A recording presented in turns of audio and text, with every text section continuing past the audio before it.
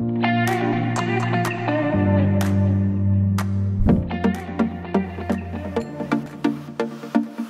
Jungle.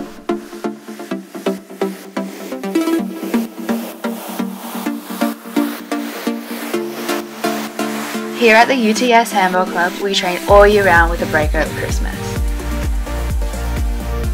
We are currently training on Monday nights at 8.45 to 10.30pm at Sydney Boys High School in Moore Park and are looking from August to go back to two nights a week on a Thursday night at the Ross Milbourne Sports Hall at UTS. Both the men and women's team train on the same night and at the same time, having half the court each, and sometimes training together. Regular season includes two New South Wales competitions with one in the beginning of the year and one towards the end of the year.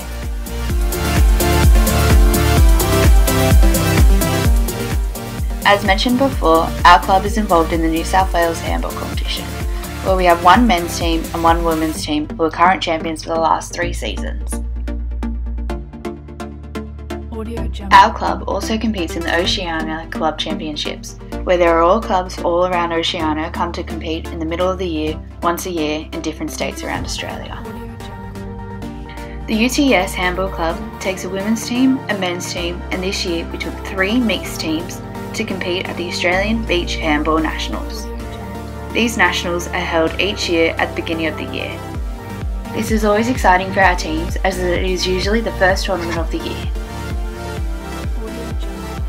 Another competition UTS is involved in is the Uni Sport Nationals. We take a team of students from the university to go play mixed handball for a week during the break.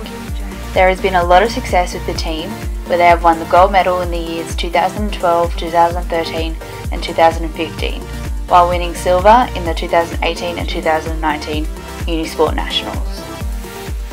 In between our regular season, we have introduced a mixed handball social competition, with the intention of bringing along new people to try the sport, as well as preparation for the students representing UTS at the Unisport Nationals. At the UTS Handball Club, there are plenty of events available for people to join. As we're a club who love to socialise, our teams love planning a bonding night for the girls team and a bonding night for the boys team, as well as planning a bonding night together. We also like to plan to cook a small barbecue for teams to enjoy after training to have a catch up and to enjoy some dinner. One of our last social events for the year is our UTS Handball Christmas Party. This social event is to celebrate the year that was had and to give out awards for people who have dedicated their time to the club, as well as celebrate the players who have excelled throughout the year.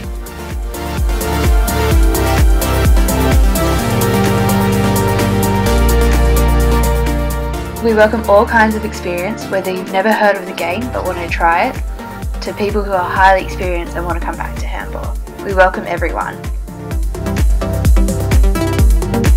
Audio Jungle. If you have any questions or want to know more information, follow us or ask us on Facebook and Instagram at UTS Handball Club.